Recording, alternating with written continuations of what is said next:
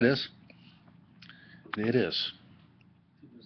If, if that's correctly, and I believe that is the correct view. So if Peter is directing Mark to write the Gospel of Mark, why wouldn't he mention that up on me? that the church will be built. Well, what a start for uh, for the lecture that just kicked off. All right, so much for Vatican friends. All right. Um, unique to Matthew, Matthew is that his gospel is the only one that calls the church by name. Saw that overview. Overview, a sophomoric basic overview, chapters 1 through 3. The person of the king, including his ancestry, right? First 17 verses in chapter 1. We are right here, Craig. Uh, the Advent through Mary, chapters uh, chapter 1, 18, verse 18 through chapter 2, verse 23. You have John as the ambassador, chapter 3. Next, we have the preparation of the king. This is a great book if you if you like topical studies. You know, we're going to talk about the person of the king for the next month, and then we're going to talk about the preparation of the king for the next three weeks. You know, something very very good for the body, I think, if you're a pastor. Included in baptism and temptation in 3 and 4. A lot of stuff happening in the first four chapters in Matthew. Next, he moves on to the proclamation of the king. Right? So far, you have the person of the king in Matthew, preparation of the king, and then the proclamation of the king. And that's funny, right? Because it's right after he's been baptized. Interesting. He's baptized. Boom, he goes straight into temptation. And then now we have the proclamation of the king. So you have his message in chapter 4, his manifesto in 5, 6, and 7, and his methods in 8 and 9. I know that's a lot in just one sentence. That's the very bottom paragraph. So, proclamation of the king, his message, manifesto, and methods in chapter 8 and 9. Let me blow this up for you a little better. Is that better? Okay. Okay. So, person of the king, preparation of the king, proclamation of the king.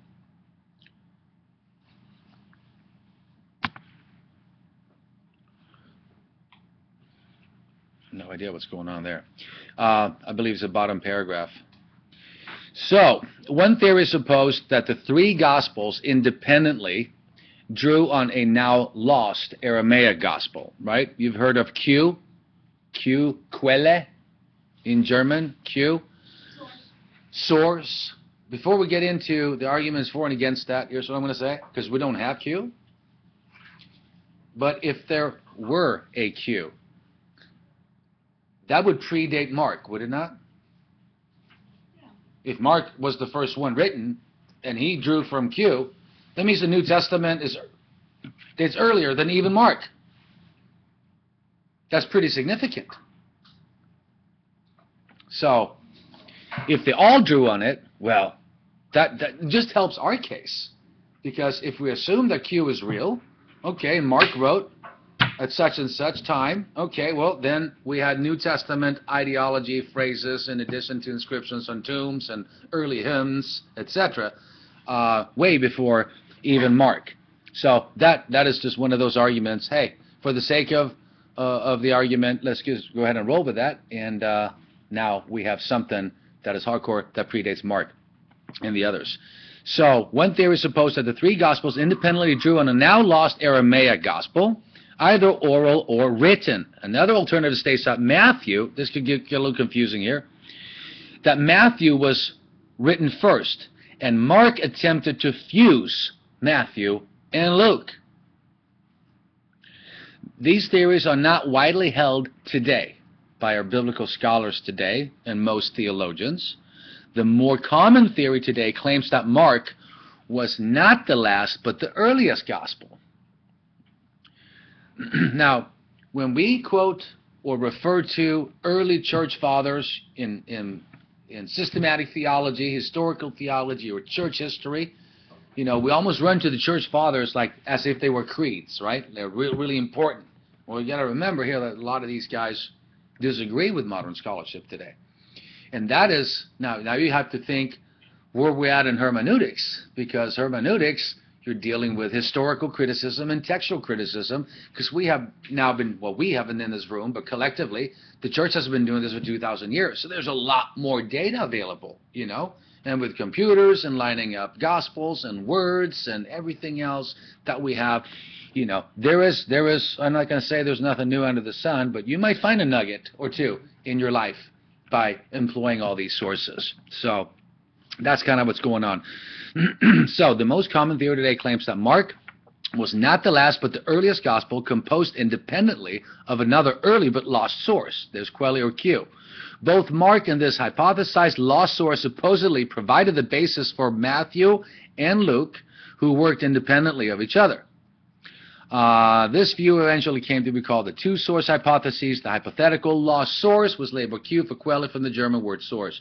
A variation of this view argues that Mark was in fact the first gospel, but there were, but that there was no Q, uh, or there was a Q that he drew from. There either was or wasn't, right? Many believe that he didn't, and a lot of the guys that we don't like in the realm of philosophy and theology, including the Jesus Seminar and John Dominic Crossan, you know, all these guys that are running with the lost gospels and right, the lost gospels as if the gospel of Judas was just discovered today, right? It's been around for a long, long time. There is no lost gospel, right? Lost gospels. Now you want to talk about Q, same thing there. But the but the the the liberal scholarship typically they run with the Gospel of Judas, Gospel of Mary Magdalene, Gospel of Thomas, and they are, of course, high horse as well on Q. So they're really involved in this stuff. So either Mark borrowed from Q or he didn't. And if he did borrow from Q, it works in our favor still, as far as the, the early dating of the New Testament. Okay. Let's see here. That's broken down. I have no idea what's going on here. Do you see this? This is from Geisler. Uh, I pulled this from a popular survey of the New Testament. That is one of your textbooks. I'm not going to read every number that's here, but Geisler asks here, he says, why do the first three Gospels view the ministry of Christ from the same general perspective? to be more uh, specific. Why are they so similar in content? And why are they why are there there marked differences between them? If they're all borrowed from each other. Those are just good questions to ask. A whole host of subsidiary questions are involved here. Who wrote first? Who is depending on whom? What sources did each writer have, etc. Popular survey, page 40. So as for the basic data in the four Gospels, scholars have calculated peculiarities with consequences. And you can see, you have Matthew, Mark, Luke, and John, 42% in Matthew, peculiarities, coincidences, 58. Versus Mark at 7, coincidences, 93. Luke at 59%, 41 on the coincidences, and then you have John, 92, and 8.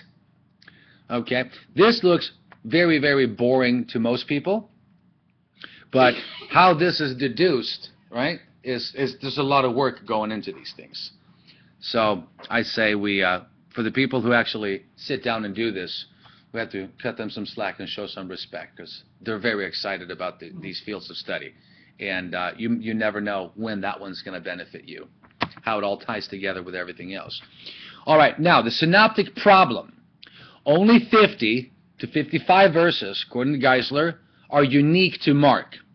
Only 50 to 55. I'd say that's still quite a bit because if they're drawing from one another, where, you know, where do those come from? And that's Mark, which is as sharp as uh, short as gospel. Matthew has 1,068 verses. 50, I mean, 500 of those are common with Mark. Luke has 1,149 verses. 320 are common with Mark. And Mark, being the shortest gospel, has 661 verses again, 50 to 55 are not common with Matthew or Luke, and Matthew and Luke has 250 verses in common that are not in Mark. Luke has 580 verses, peculiar to itself. again with the Gentile tone, because Luke was a, a, Gentile doctor, traveling companion with Paul. Matthew has 300 verses peculiar to itself, which has a very Jewish tone.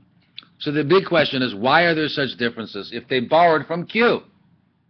If they did, why are they there are these differences? So, based on this, you could say, well, they probably didn't borrow from that document.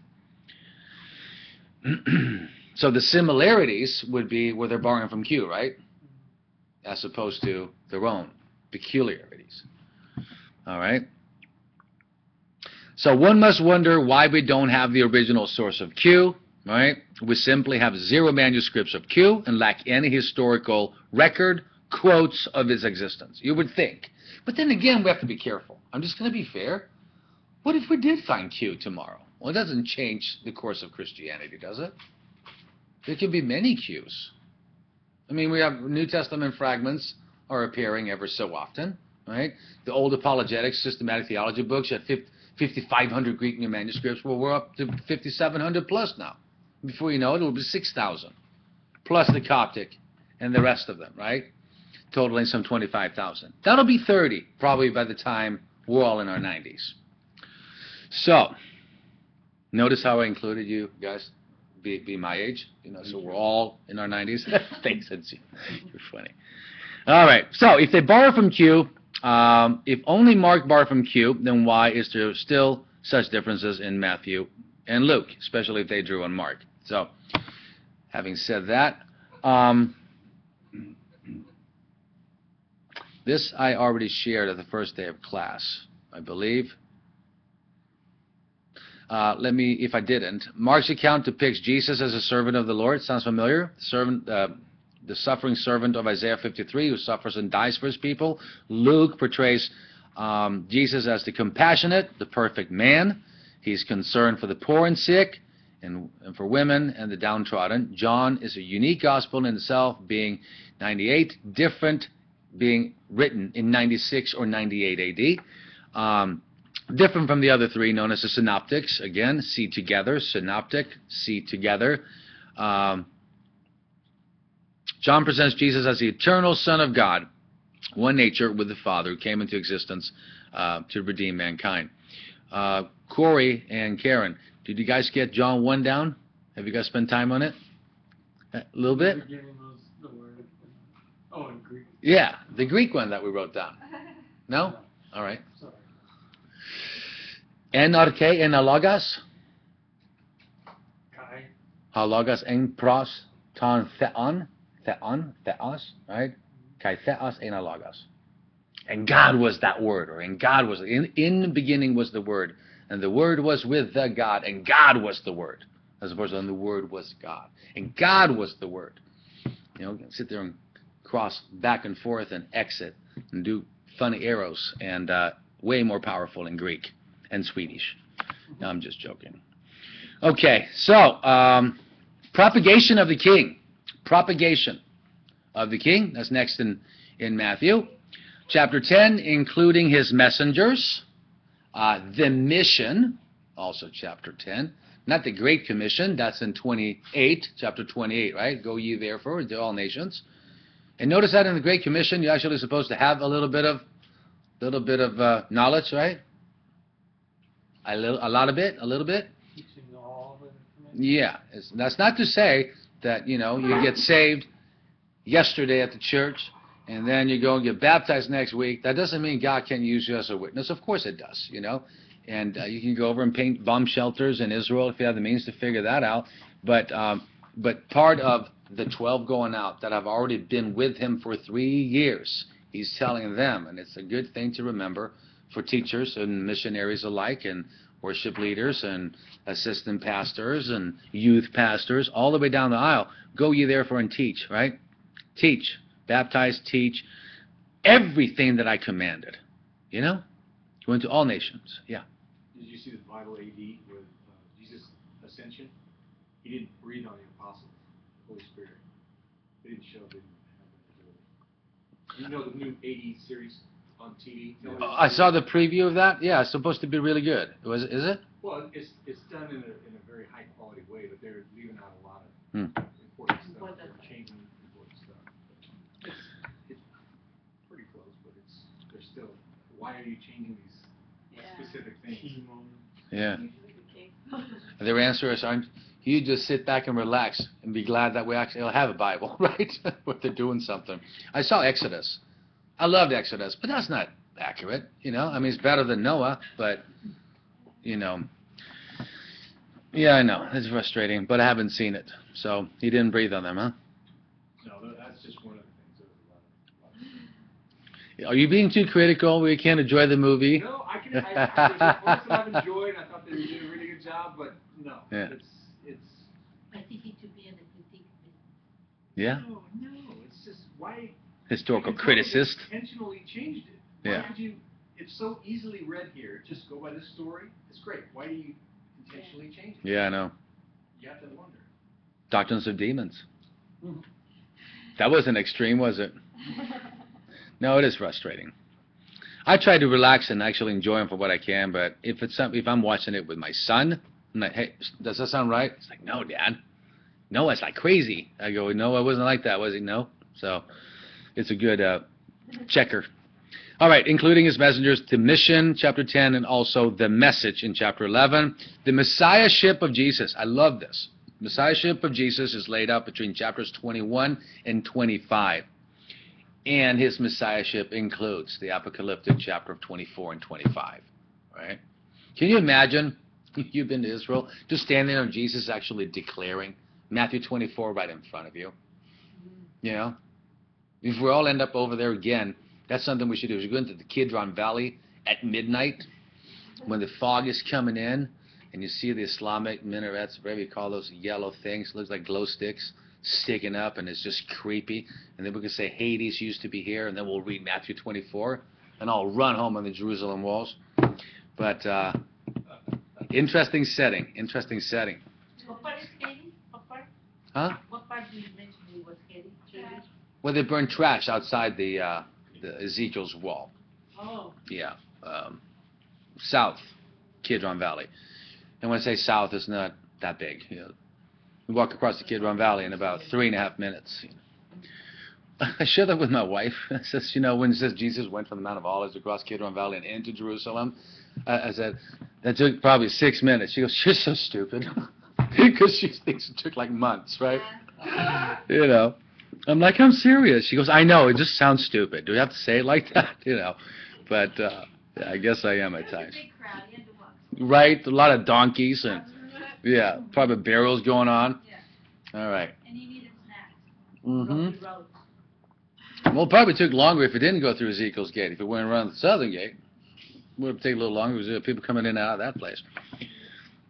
All right. Movie premiere, by the way. Uh, well, uh, the the marketing guru Karen, um, she had she had an idea about showing, you know, having a, having a movie night, right, where we could watch the, resur- the resurrection thing. I think we should. Uh, Craig, I watched it. I watched it. I had them print 25 copies, only 25 copies, but there's a couple things on on the video that I don't like. They've been playing with the light because Dr. Joe Holden from Veritas the sun was there was a like he's in the shade. Half of his face is in the shade and half of it's in the sun. This is horrible natural lighting. And you see a golf cart driving by Marietta, vroom, buzzing by. And so as his face is getting really, really dark, kind of like half creepy, Yeah.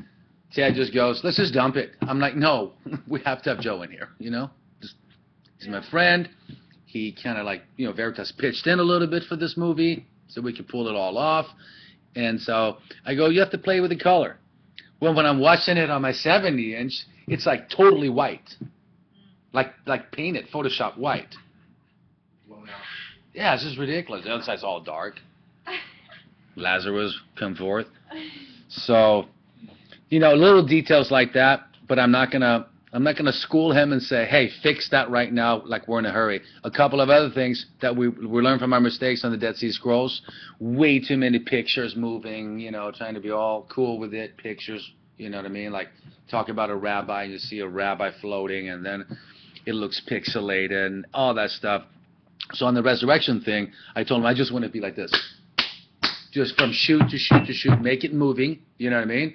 Geisler. I'm in a boat on the Sea of Galilee driving, talking about Spinoza and Dave Hume. Just, you know, fun stuff. And we just cut it out. But there's one picture that I want from Rome, and that's Paul's prison. When I'm talking about the martyrs and just so you see Paul's prison in Rome, you know, little things like that. But uh, maybe we should this summer. I don't know. We'll make an announcement. We can do it in here. That's what you were trying to get the, the room for? Yeah, but you guys had the thing going and on. All week long? Yeah, and I'm I'm back and forth all over the place, so I wouldn't. That's why I didn't respond. I didn't want you to think about it because we can't, and if we did, we'd have to squeeze it in on just a late notice. Yeah. And uh, so, well, remind me, Karen, and let's try to do that. Have a potluck. Yeah. You bring some vegan food. I'll bring the pot. I'll bring the veggie dogs. I'll bring you luck. There you go. Danny, what are you bringing? The the Corvette? Take us all spinning. So, Messiahship, you got that right, 21 through 25. Then towards the end, we see the passion of the king. Notice there's a lot of P's here.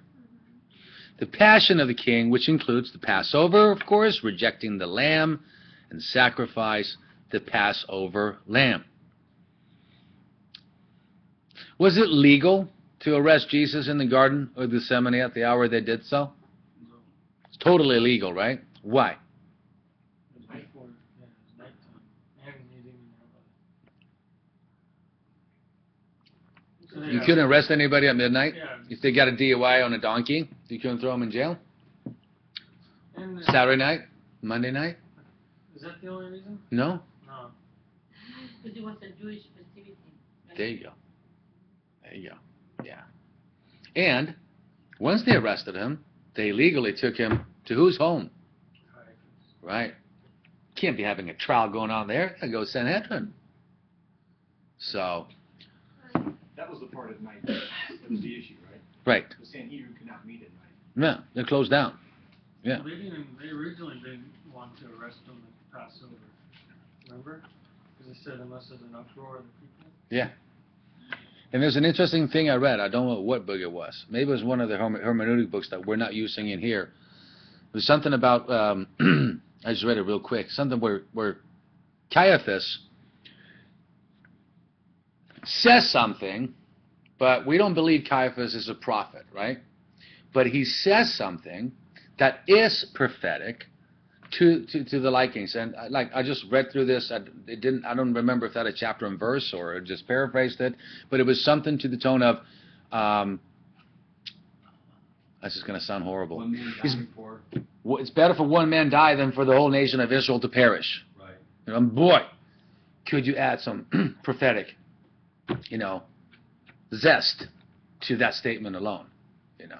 You want some, that- some more i- illegal stuff? Number one, there was no legal basis for just, can I look stuff up? Yeah. No, It's really naughty to do that. no, go. It's not in my head, so it's on my phone. Mhm. There was no legal basis for Jesus' arrest because no one had presented a formal charge of any crime. He simply was taken.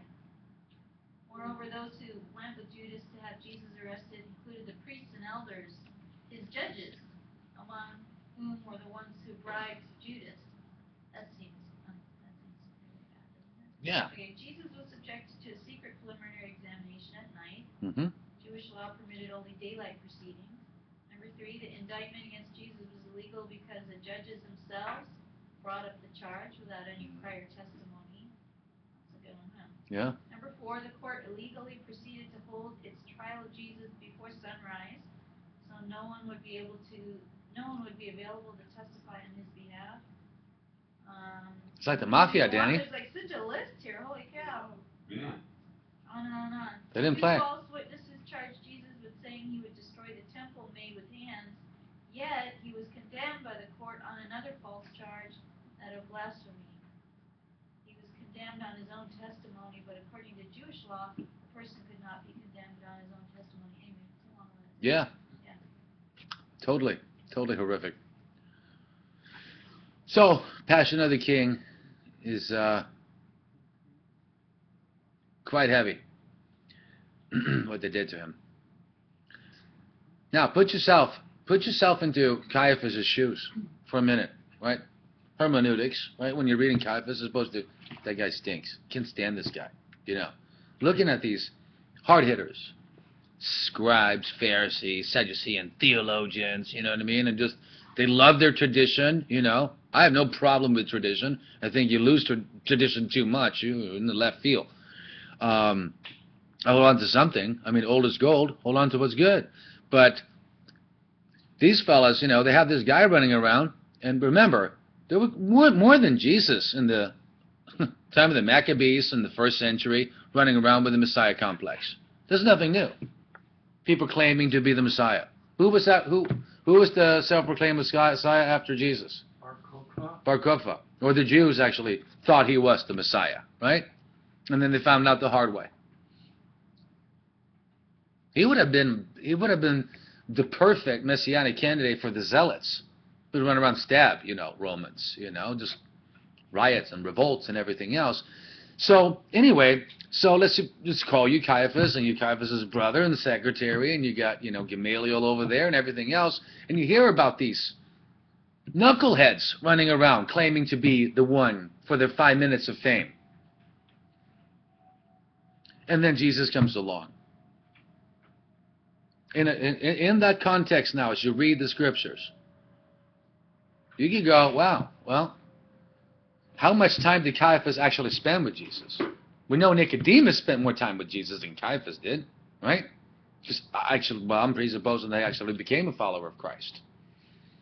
But he was very, very worried at first, right? Just like Paul. You'll lose all your friends. Like worse than becoming a Messianic Jew today. I mean, today they have you buried. Bye. You became a follower of Yeshua. So they, they didn't play back then, that's for sure. So, having said that, can you blame perhaps the Pharisees? How many times did Jesus go to Jerusalem? At least three.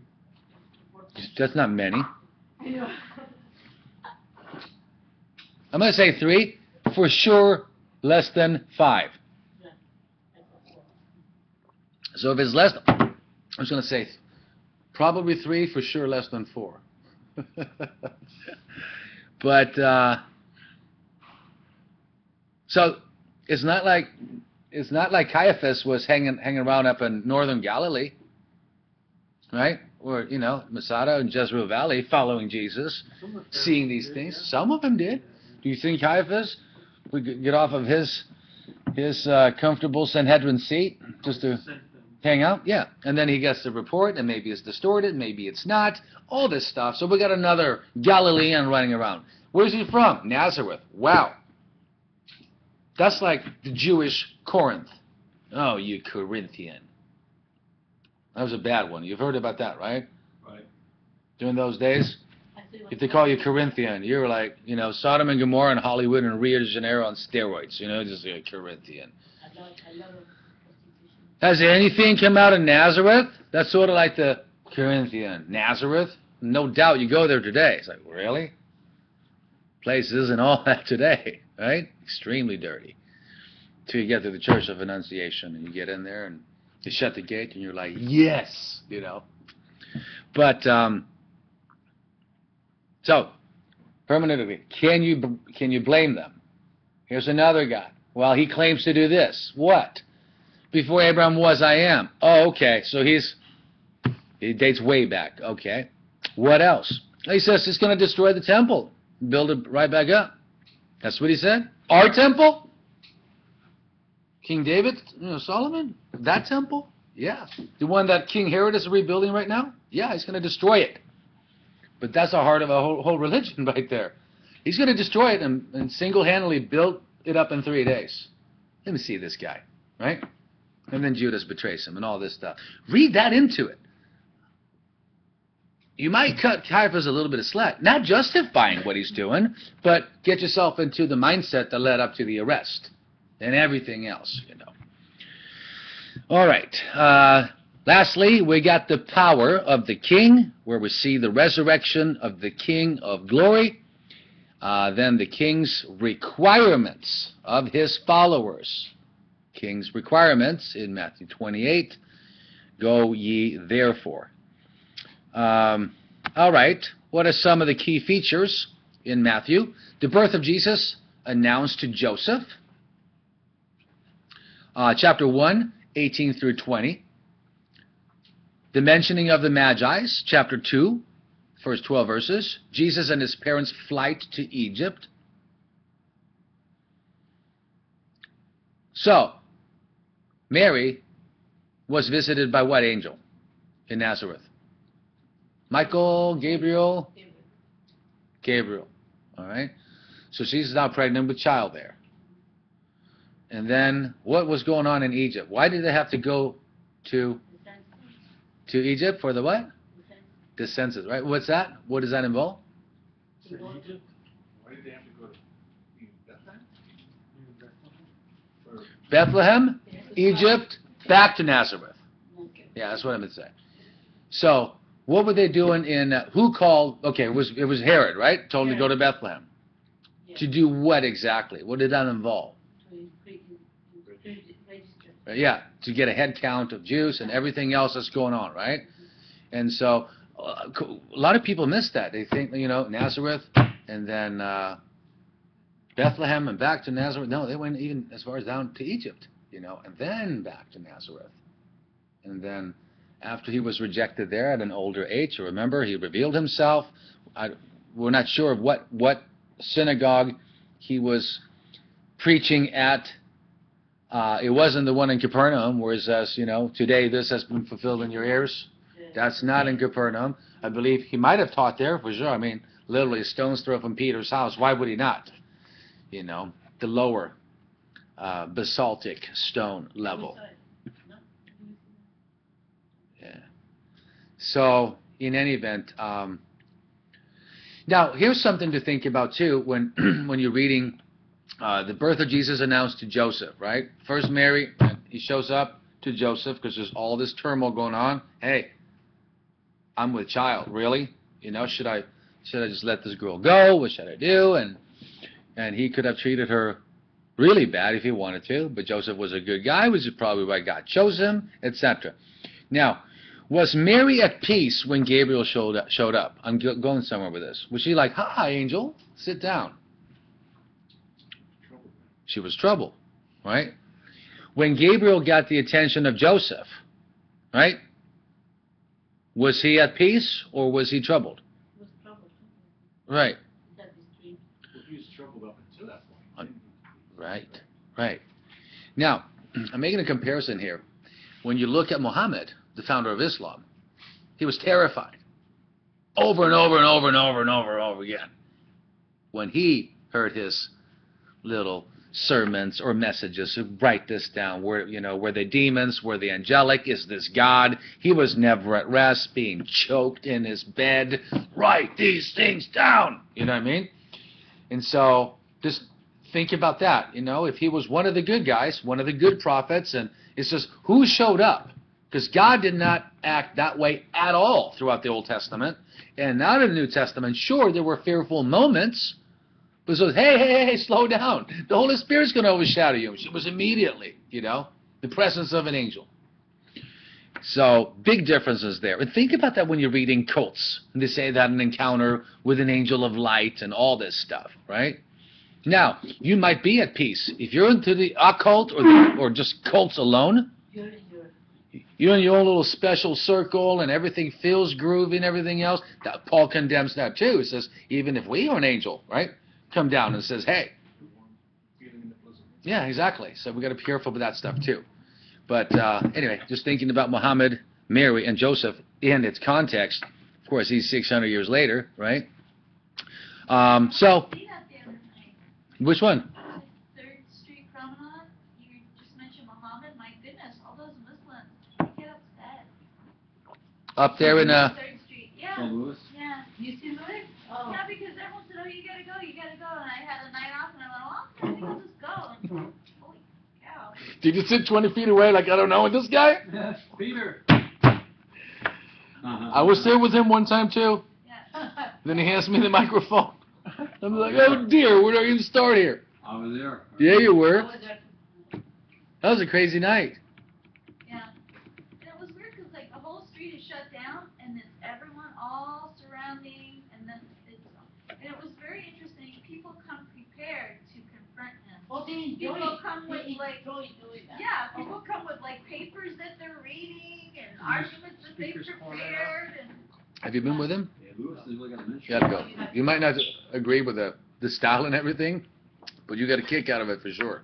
I would think I'd agree with the style. You might agree with the style. That might be right up your alley. A little confrontational. Right? You know. Corey's like, bring it, right? Sometimes a guy, like a mannequin laying down like a dead person in front of me. That's how it gets their attention. Yeah. What's the dead, I didn't, what does that mean, a dead Attention getter. I didn't see a dead person. on the Yeah, thing. I I did, there was one? It is Oh, that's probably when I walked by. Oh, this is the place, and I kept on walking, and then we came back. I'm just joking. What was the dead body mean? Does it mean something? Ah, attention getter. Oh. Like me, the meaning of what, what is it after you're dead, Right. after life you to wake up a little bit. No, I think it's, no. I think it's the, that you're totally depraved, you know, that's the whole idea that it's a dead man. Um, It's just an attention getter. Just Yeah. I know, yeah, I know. provoke- provoke Well, he knows how to do it when he pulls out the poster on Islam. Yeah. Muhammad was, Muhammad was, Muhammad was, Muhammad was. You're just like, oh my goodness. Pedophile, Pedophile. Man. Rape. Women. That's the place to go if you're a suicide bomber, right? Just go, you know what, dude? I'm going to send you home early. it's just, He must have a divine protection. he must. He's- I can tell you, they, he gets people to go at each other. Yes, Lewis. We're talking about you, Lewis. Lewis is like a like a ticked off Jonah when he's up there, huh? A little bit, right? Say, I'm not going there. No, I'm just joking. Oh, yeah. That that's uh. But hey, it's making a dent. You did pretty good up there too, Nick. You did pretty good. That wasn't trying to be confrontational. No, you were trying to be, uh, I was trying to be you're trying to listen. You're trying to listen. Yeah. I was, and I was trying to have a rational discourse, like a normal conversation, and just, hey, slow down. that's not that's not right. Let's go this route. You know. And the thing I was getting at, man, there was a grenade coming. I was like, all right, we're done now. Take over. Remember the guy who goes, I like you, I hate you. Yeah. Remember that guy? Like you. Yeah, that's what I felt like. All right, well, good. At least you know, maybe he, I made him think. Lord, lives to see take tomorrow. over. Yeah. Yeah. All right. That was a wild night. And then and then we got a flat tire and Stan's Benz. Um, What? Right Oh, yeah. downtown LA, rugged street, all these, you know, lowriders cru- cruising by and going to McDonald's 1:30 in the morning. One guy watching the car. What a scene, man. we'll ever go to that again, we're taking your vet on my excursion. That's it. Yeah. All right. Jesus' key instructions on the Mount of Beatitudes, right? Sermon on the Mount. Do you know why they, why they believe that's the area? You haven't been there yet. And you know what's funny, Corey? You know, you have to go there. You can't have a Master's of Biblical Studies without going to Israel. I'm going to make that the last, like, three units requirements. That'll get them over. What do you think? No, Sermon on the Mount. Why they picked that spot is because of the, the acoustics. Because the acoustics, you know? That's like the only place, so they say, that if you sit at the Mount of Beatitudes, where there's a church, out there's a fence now, you just kind of look over, and we must have been sitting somewhere here. If you can jump that fence, that's the one fence I haven't jumped, and you probably shouldn't. but apparently, if you sit there and just go, hello, you know, hundreds and hundreds and hundreds of people could hear you. The acoustic is supposed to work there. That's one of the reasons why they believe that's a spot. So it's, it's really refreshing. First time I went there, um, I read the Sermon on the Mount just in my own corner, you know, just right there in the spot, hoping that that was it. So uh, then you have his uh, his teachings on the law in chapter 5, 17 through 20 on murder, right? Clarifying some things. Hey, killing your heart, you're guilty too, right? Uh, hating your brother, same thing there. And then you have oaths on oaths, uh, chapter 5, 33 through, through uh, 37, and on non-resistance. What could that mean? Right to bear arms? Justify war? Unjustified war? Well, you have to put Jesus into context here too. First time he came, right? As a peaceful, suffering servant, riding lowly on a donkey, right, into Jerusalem. Second time he's coming in full blown vengeance, sword out of his mouth, not literally, symbolically, a sword out of his mouth. And he's upset at what the world has done to him in his rejection, It's done to his people, to his church. Yeah, made a difference there between the Jews and the church. He's upset with the way they've treated Israel. Ad infinitum, and judgment is coming. Okay. Now, having said that, when you read non-resistance, these verses in 538 through 42, remember Peter, hey, those who live by the sword will die by the sword. You also have to read the other verses in the scriptures. For example, you got to go with Paul as well. Or you can reject Paul and say Paul tried to Christianize his own little Christianity. All we can go go by are the Gospels. But then you get a problem because New Testament writers are quoting one another back and forth. If we have time, maybe we could get into some of that. But um, what does Paul say? When Nero was in rule, remember? When Nero was ruling, that's when he penned down his letter. God has given us three offices in the land. What are they? Three offices. New Testament teaching, for sure. In the church? Church, family, state. Right? Church, family, state. Family, church, state, whatever. Very simple. You thought it was going to be something profound. The Vaticanus, right here. Thought you were gonna give it to me. Yes. So those three offices of the land. Now you have the state, right? That can, that's supposed to defend the weak, etc., etc., etc. So if you're a Christian and you sign up working for the state, you can bear arms. Now I bear arms, but I don't work for the state. Oh, we'll sleep with mine. but uh, that sounded real good. No. But uh, there is justified homicide, unjustified homicide. Now I just jumped into Christian ethics, right? We've gone through that book. We have verses for and against, you know, pacifism. Christians should just lay down and just get the beating, right? Is that the biblical view? Why not, Danny? Those who live by the sword die by the sword. Yeah, but I think that there's, um, I, I can't quote the scripture here, but I think there's somewhere in the Bible where, you know, you have the right to protect yourself. Revelation um, 24? Just joking. 23? Corey, you sent me a question. It was a long one on a text. How do you justify this and that at the same time, Nick? What was your solution? Uh, Luke, well, it's not a solid solution, but it's something. It's a soft one? Luke twenty-two, uh, thirty-eight. Yeah. And they said, look, Lord, here are two swords, and he said to them, it is enough. And that was when he was saying earlier, when I sent you out, did you lack anything? He said, no. He said, now you take these things, these provisions, now take them. And then they said, here's a sword, two of them, and he says, that's enough. So Mhm. whatever the swords are for, protection, it's wild beasts, uh, raiders, whoever. I mean, that could be. Or you cut fish? Cut fish, yeah, sword to cut a fish. Right? Exactly. You know, so. Well, I only need I only need the sword of the spirit. Some would say, right? Try to say that to the Christians that are being massacred right now in Syria. You know? You know, my wife came up to me before I left, and she says, "Did you hear about this? Uh, the the the baby, uh, what was it, four or five year old? You heard about that story? The father just beat the living business out of his own kid. Four or five. You guys have to see that? It's all over Facebook and YouTube and news now. And uh, I said, uh, no, uh, I heard something about it, but I don't follow those stories because I don't need to feed my agnosticism, my little pockets. Seven Eleven, is that the one she's talking about? I don't know. Oh.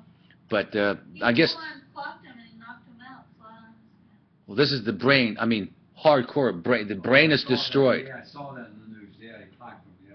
Yeah, I mean, the brain is damaged and everything else. And then I guess the mother took the baby to the hospital, five year old. So it fell down the stairs, and the family's like, no. And then uh, the baby died, you know? And uh, seriously, my wife's like, and she wasn't to share the story, you know, because for some reason, I guess, you know, you know, watching all those murder files and all that stuff, I, I, I, I can't hang with it. It's too dark. Uh, this world is already dark by just looking outside my window. You know what I mean? So I'm like, please don't share anymore. She's like, why? I said, because I don't want it in my head.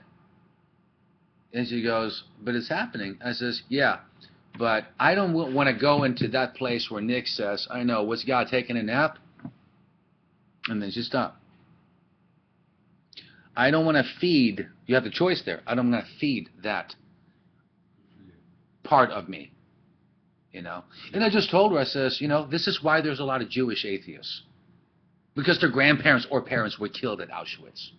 They're going, Yahweh? Who? Okay. Let me get a Heineken in Tel Aviv and grow dreadlocks. The secular Jews. Can you blame them? Well, they are without excuse. I understand that. But I just can't feed myself with too much, especially real stories. Give me fiction. I can roll with that, and I don't even like fiction. You know? Unless it's underworld. I'm just joking.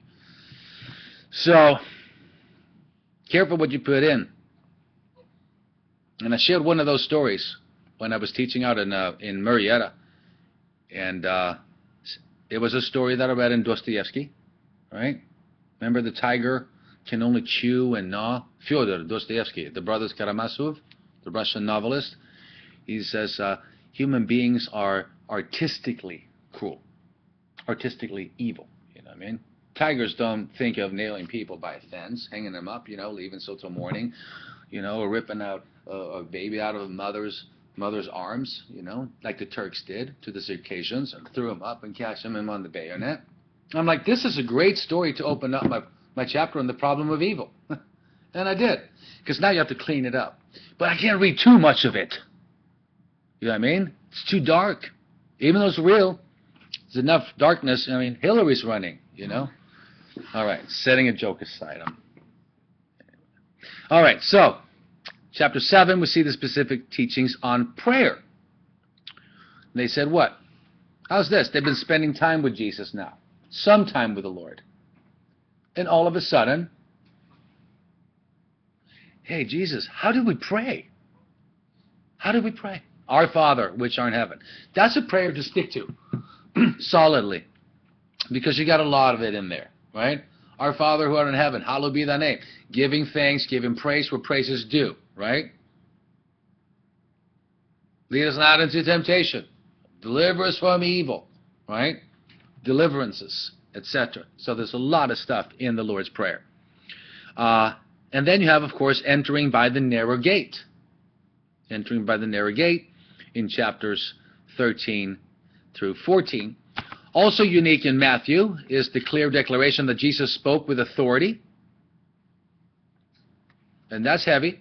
You've heard it said, as it is written, but I say unto you, adding some new light, or I should, I'm not going to say new light, I don't like that word, additional light to Old Testament teaching. You know? So like the flashlight, but, you know, with a beam. I'm going to add a little more light to what this passage really means. It doesn't just mean this. It also means that. And when you start doing that, from Leviticus, people are going to raise their eyebrows and go, wait a second, who is this guy? But then he spoke with such authority, right? Even as a teenager, debating the priests at the temple and whoever else were there, right? Next, in chapter 9, 27 through 34, we see Jesus healing the blind and the mute. Now, when he pulls off a miracle like that, if you define a miracle as a supernatural act of God, then he is God. So when he gives a message, the messenger delivers a sermon, right? And then he backs it up with a miracle. Now the messenger and the message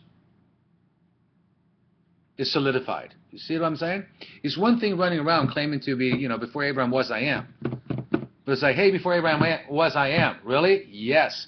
Me and the Father are one. Really? Check this out. Lazarus, come on out people are like, whoa, that was heavy. So he did apologetics. He proved some of these things, right? Sins are forgiven. Yeah. I can say that, or I can show you a miracle to back it up, which is easier. You know, he's brilliant. Of course, he's brilliant. Now, in chapter 9, 35 through 38, the phrase, the harvest is ripe, is also unique in Matthew. Harvest is ripe, but the laborers are few, right? Uh, Matthew also mentions the way of a disciple, chapter 10, 16 through 42. Now, there's a lot of verses there, the way of a disciple. 16 through 42, it's not a short, brief teaching. There's a lot of it there. And the call of a disciple in uh, 11, 25 through 30. So the way of a disciple is longer. Then you got the call of the disciple, and then uh, in uh, chapter 11 again, 20 through 24, we see the condemnation of various cities, also unique to Matthew, not condemned by the others. Then in chapter, not to say that they weren't condemned by them in mind, because they knew what Jesus would have said. Just saying, Mark and Luke and John doesn't condemn these cities. Um, then in chapter 13, we see the parable of the tares, the dragnet, including the hidden treasure and in, and the treasure, um, including treasures new and old, and the pearl of great value. Why am I calling it the pearl of great value?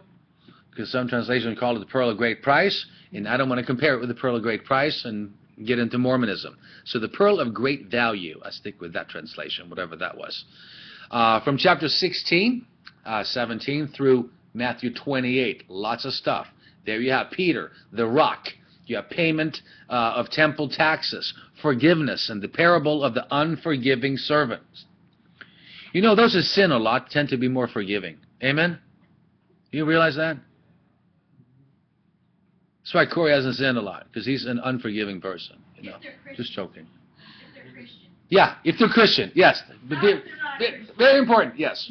Not talking about not talking about Marilyn Manson. Oh, you yourself Christian and you did Exactly. No, if you really like lived a horrible life and you have some serious sins under your belt, right? You know, and uh, then you become a believer, and somebody comes in and they have like, you know, this horrible background, right? Some people would just be like, ew, and kind of walk away. But then there's the, the people that maybe they haven't been a prostitute, but maybe they were heavily into other sexual sins and drugs. It's sort of like, hey, I'm right. I get it. Let's have a coffee. You know what I mean? Really? You know? I know. I know people like that. I know people who've been out of church slamming heroin. And then they come back and you hope that they're back. But tell you, those guys, the, the people that they reach, I couldn't reach. You know? Hence, once saved, always saved, Krista? Yes or no? I saw that, yeah. She posted on Facebook. What do you guys think about that, real quick? Short version. When saved, always saved. Yes? Why? Just a yes or no. No, I'm just kidding. It's not that simple, is it? Just um, percentage wise. 51 50? I'd say yes, yes. But, all right. I want to believe it, yes. You want to. All right. That's fair. So do I. I hope that's the truth. I truth. heard something, Nick, I like, that says, you can't lose your salvation, but you can give it away. Yeah. You can reject the gift of salvation by no. Even after you become a believer? After you become a believer, then you're not once saved, always You saved. do not, you can accept Jesus, but if your behavior is not like Jesus, it's not like you have accepted him fully. But none of our behavior is like Jesus. No, no, but you are progressively are in Sure. sanctification. But th- so you can lose it if you give it up. Don't lose it. That's a difficult answer. I know, I know. That's what I'm trying to get to, Gracie. Karen. That, that the Lord knows those who are truly his. Yeah. And I for think- us, it's very difficult to tell. Yeah. Because Krista, I want to know what you think. I, I. Because I saw what some of your friends said. I just skimmed through it while driving, right? No. I I'm not getting too long. No. I don't, um, I don't necessarily think that you, I, I think you can turn away and then, like, if you quench the spirit enough, if you don't want, like, always, you know, if, if you do enough of that, I think that there's a way to lose your salvation because you're not, you're no longer choosing him. That's what I feel, but I don't know. Not what you feel, it's what you think. Think, Never say that's what I feel. yeah. But you know, That's what I think. You're. Yeah. That's what I. Well, I feel that. Ah, Well, yeah, it's it's a difficult one. I think what's it's a good way to kind of fall back on what we do know about the old text. The old the old covenant was basically do this, keep this, and then you'll be accepted. The new covenant is brought in as just unlimited, well, not unlimited, well, just a grace that's just overflowing that brings us to a spot that we can fulfill in this power of the Holy Spirit, God's standard. So, under that new covenant, I believe it's, I would have to say, it'd be probably very difficult to lose that gift of salvation. Mm. But to me, on the same side, is how can somebody constantly reject the Lord after coming to Him, and Yeah. die in that state, and yet still get into paradise? Yeah. It's a lot of grace. It's a lot of grace. And because then at that point you're going to say, well, then salvation's work works based. Because then if I can be accepted into paradise based on what I did or did not do, then it's adding to or subtracting to the work of Christ. I got, I got, a, I got a solution. but can I take that before you? Sure. Okay, the- starting, uh, starting from the point that, that through Adam's fall, we are in a fallen state, right? Yeah. Our bodies are, and our being is in a fallen state, Mm-hmm. but when the Lord saved us, He's saving actually our soul, not our, our physical human parts. You justify. We will be. Will be justified No, if it's, You are justified. we're justified, exactly. Those So- that he justifies, he glorifies. Our bodies are waiting on that. I think God will pull the plug if He foreknows you're going to leave it, leave His flock. I think it's one of those. You're going home. Yeah. Just gonna kill you, right? I'm trying to take you home. Seriously, that's what I think. I think that's what the Bible says that. Well, yeah. Leave him for the destruction of Satan. Yeah, that one went through my mind last night.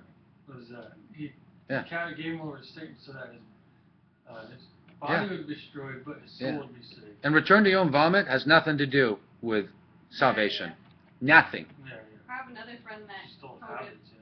quoted another good scripture though. What? Hebrews thir- 3, 12 through 14. Take care, brethren, that they're they're not um, be in any one of you an evil, unbelieving heart that falls away from the living God, but encourage one another day after day as long as it is so called today, so that none of you will be hardened by the deceitfulness of sin, for we have become partakers of Christ, if we hold fast the beginning of our assurance firm until the end. So another good one. Yeah. But am I the one holding fast? I don't know about that. Is it really me holding fast? I, I was a corpse till Jesus saved me. I was dead in my transgressions and sins. Now he's with you though. How in the world can I grasp onto anything if I'm a corpse? Not a corpse anymore. No. You're born again. You're alive and well, and you, in fact, your corpse is so alive. You have to work out your salvation with fear and trembling. But it's not a fear where you're like, oh my God, I hope I don't go to hell. We can't live our lives like that. If it's like that, you know what? It's just up and down, yin yang, fear, happiness, fear, happiness. There's no peace and everything else. But you know, I look at it this way: if salvation is revocable, how could eternal life really be a gift? Is eternal life a gift? Yeah. There you go, Nick. Sorry, Nick. Are you saved again? There you go, Nick. Yeah. It'd be going back and forth so often. And you know what was really more ridiculous? God foreknew all this. Here you go, you're saved right now, but you're really not. You're gonna blow it next year, Nick. I need that back. What? Back and forth. And then he foreknows on the 99th time. I never get the plate back. You know what I mean? Because I, you know, jumped out of an airplane and hit myself on a rock. So it's over. So I was like, well, what a waste of time for an omniscient being. I'm not trying to get all crazy with cool little predestination talk and all this other stuff. Really, those are the analogies that that were, that I think help. You know, this back and forth business Here you go again. Now you're back. You're back. And I don't know if I'm in or out. That's a heavy burden. It's horrible. And as a finite and as a finite father, talking about us, finite parents, would you do that to yours? Being not perfect, being evil, not morally perfect, not being all good, not knowing all things. If my son went on a shooting spree at his school, no, he's too young to do that, but say he did so, and he gets locked up, I, I would put money on his books. I would go visit him. He's still, he's still my son.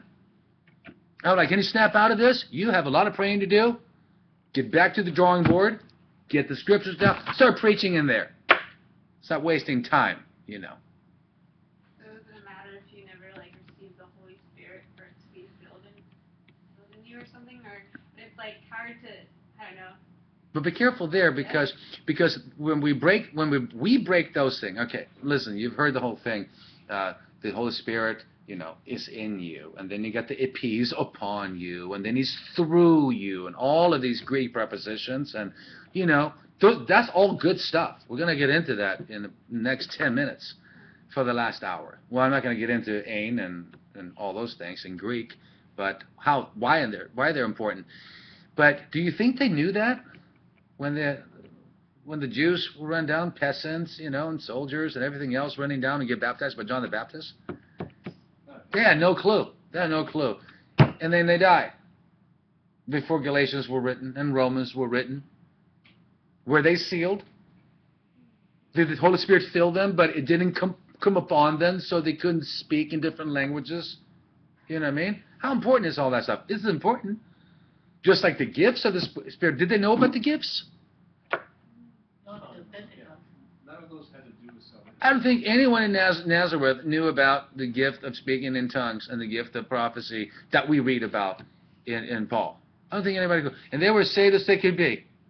They didn't know about they didn't know about once saved, always saved or not. It's according to their faith, right? Like in Abraham, according to his faith. Believe on the Lord Jesus Christ, repent of your sins, and you shall be saved. That's the gospel, plain and simple. It's there. Yeah. I don't know if this theologically I got it right, but I'll just throw it out there. The, um, and that's the difference, like you brought up the, the, the uh, Mosaic covenant, right? Mhm. That was an agreement between them and God. Mhm. They both Mhm. said yes, and then they couldn't keep it. Right. But the, but the Abraham, Abrahamic covenant had, Abraham had, his faith was counted for righteousness, but when that covenant was cut, Mhm. he didn't do anything. He was asleep, right? It was, Right. It was basically a promise. God doing the business. God. God doing the business, walking. And that's the same kind of thing it points back to when it Mhm. talks about our faith, right? That's the same kind of thing that God is doing. It's a promise hmm that your faith activates. Yeah. And there it is. I mean, or, I don't want to get into where it's activated, who activates it, all. Sure. But I mean, that's, it's a promise that is not dependent on you hmm to fulfill any kind of merit-based actions. Yeah. Romans 8:28 though, thing seals it up. You alluded to it earlier, right? Ordo salutis. Order of salvation, right? Very long in the Orthodox tradition, long Catholic circles, very short in Protestant circles because we're not that old, right? But uh, here's Romans version 8:28. So he says here, and we know. So we know. We know. no, Not we think, we feel. We know that for those who love God, all things work together for good. For those who are called, called according to his purpose, and you can't get saved unless you're called, right? Unless the Father draws you. So why would, you know, you run around and be a Mickey Mouse Christian unless you were drawn in the first place? We can have our lives going like this. We try to keep it like this, but anything can go sideways. And listen, we're not as razor sharp as Adam and Eve. How- How much of your brain do you guys use? less than five percent. Yeah, there you go. And we can have triple PhDs and we still use less than five percent, right? So the brightest of the brightest, brightest is still right out to lunch a little bit. I think God would kind of look into that a little bit and go, you know what? These guys are so fallen, right? Love me to the best of their capability. Try, you know, and, and, and then you start looking at how many believers really truly love the, the word or know the word. And then you go to Jesus, we'll split hairs. If you love me, do what I say. But do you love Jesus? Yes. But you're not in the scriptures. You don't know the scriptures. So how can you say you love him when you don't do what he says? Because you don't know what he said. You're clueless. That's a, you know, that's also mm-hmm. sort of out there. And then you have, again, the people in Nazareth, Galilee that got saved. They had the Old Testament, right? They didn't have a New Testament yet because it wasn't written yet. The first followers of the way in Antioch, right, up in Syria. How much of the New Testament did they know? Not much. But the more you have, right, the more responsible you are. But looking at this verse here, we know that for those who love God, all things work together for good. For those who are, one, called according to his purpose. For those whom he foreknew. Divine omniscience is, is at play here. Remember? Here you go. I foreknew you. There you go. No. There you go. No. Want some, Danny? All right. But you're going to die on your way home, so I'm taking it back right now. He's better off pulling the plug on you and take you home Yeah. to get you out of this miserable state. And if you have this, if there is this stuff going on, right? Passing the plate back and forth, before you blow it again, I'm going to get you out of here. But would you do that with a gift? If you're all good. Nick, a friend of mine just passed away. Mm. She um, was a lesbian, Mm. became a lesbian, something like that. And then she repented. Then I saw her when she was saved. hmm She had cancer Mm. and breast, and the Lord healed her Mhm. for a while. Mm. And she was very committed to the Lord. I mean, she fasted, she was Wow. into the world. She was serving the Jewish lady working in Santa Monica. hmm And then she became part of a prayer team. And the Lord gave her so many revelations, things out of this world. Mhm. Even praying for people in Central America and some other countries, and the Lord will give her hmm a word of knowledge and stuff to tell the people what to do. And then um, after a while, um, of course, she's no more a lesbian. She was a straight lady, you know, Sure. very nice, pretty. Yeah. And then she, um, one of her brothers, uh, also called Christian, started saying that, uh, they started having a different detour of the doctrine, hmm and then she becomes sick again. Mm. And then she would help the brother, Hmm. and now they want to depart the church, and Hmm. they start their own thing. Interesting. So as they were starting something new, Uh-huh. but it was not according to uh, what it was correct, Hmm. she and didn't want to tell anybody. Hmm. Just isolated herself, and uh, the ladies that, that used to be part of the prayer team went to see her, Hmm. and they they saw her that she wasn't the same person with the same anointing, with the same, um, you know, and, and the, the Lord, according to this lady, they said, we know that the Lord took her Mhm. because they didn't want her to go. silent." Yeah. There's that idea. You know, ti- it's time to go. It was amazing, but she's still young. I mean, it wasn't like an old lady. I'd rather, and if, if that's the wrong view, I, I would rather have it that way because that just makes a lot more. Well, it makes human sense. More fair, more fair to be, you know. Fair from the from the ultimate fair just Yeah. and just judge. But anyway, so we have his omniscience at play. He called us. You can't come to the Father unless He draws you, right? And all these things. Um, so we know that for those who love God, all things work together for good. For those who are called according to His purpose, not your purpose, His purpose. For those whom He foreknew, He also predestined to be conformed to the image of His Son, in order that, in order that, there's the conclusion marker, in order that He might be Sorry, I misread that. Yeah, in order that he might be the firstborn among many brothers. And those whom he predestined, right? He also called. And those whom he called, he also justified. And those whom he justified, he also glorified. I don't see Nick anywhere in there.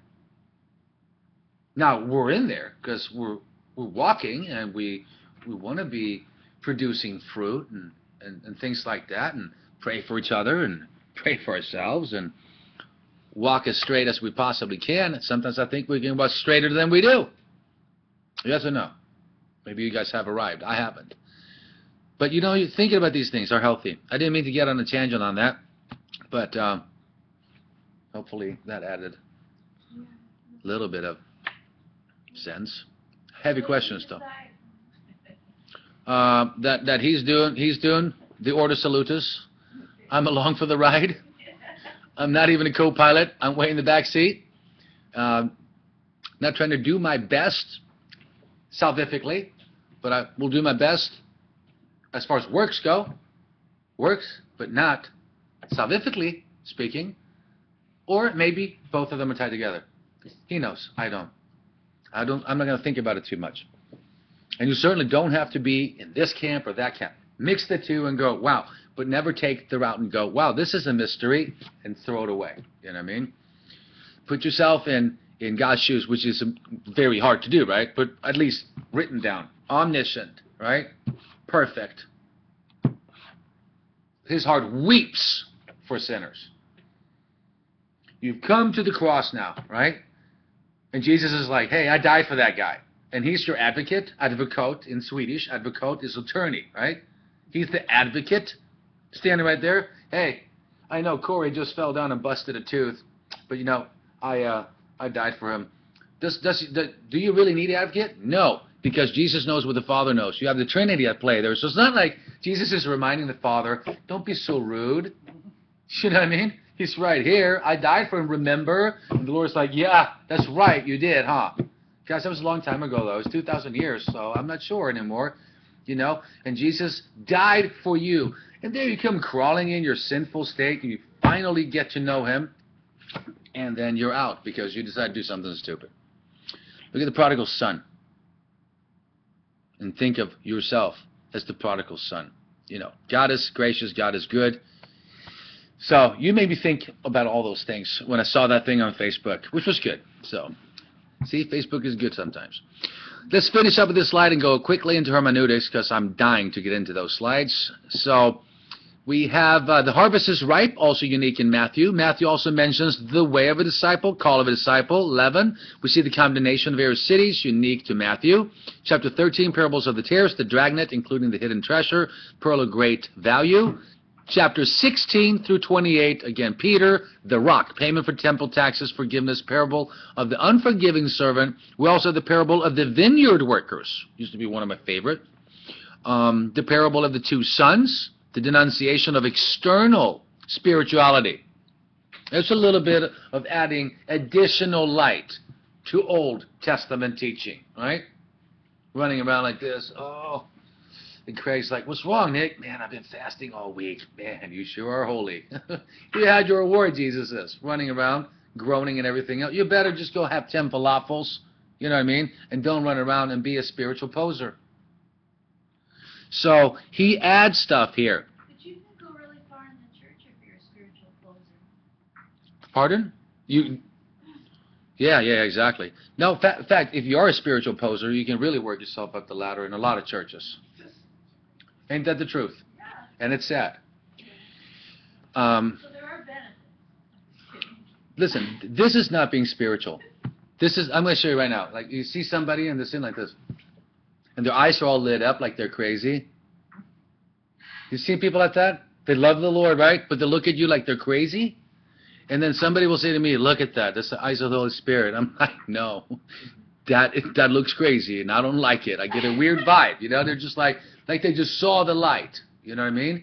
Just like, like too lit up for the face. And it's just like, wow, that's odd. That's odd.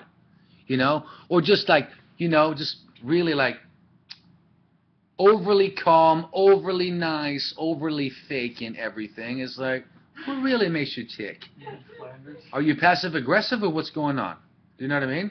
Just be real. Be real.